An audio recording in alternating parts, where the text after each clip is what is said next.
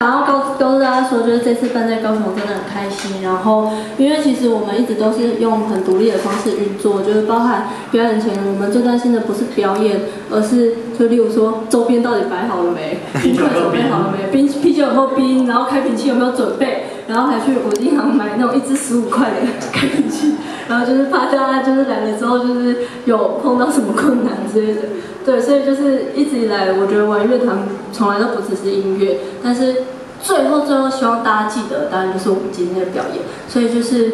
该怎么说呢？今天还好吗？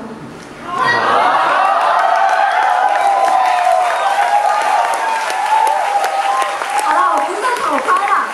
啊，最后就是安可我们准备了两首歌曲，第一首歌是《夜阳风景》，第二首歌是《游戏》。然后，嗯。